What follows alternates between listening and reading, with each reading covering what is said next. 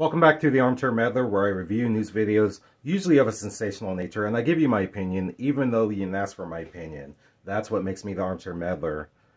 So, oh my gosh, we're going to take a look at a video today where a lady is attempting to cross the street and this silver SUV just ignores the stop sign, the lady's walking her dogs, and she gets struck by this SUV. So let's go ahead and get into this video. Westminster are asking for your help to find the driver of a silver Ford Explorer who hit a woman walking her dogs and took off. This happened yesterday. The victim is in critical condition.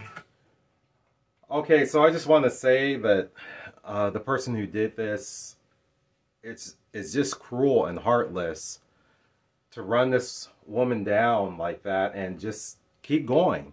Obviously, this person saw what they did. They heard what they did just unbelievable. The the woman is in critical condition.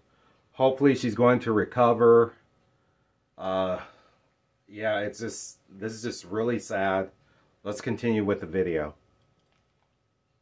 We're unhurt.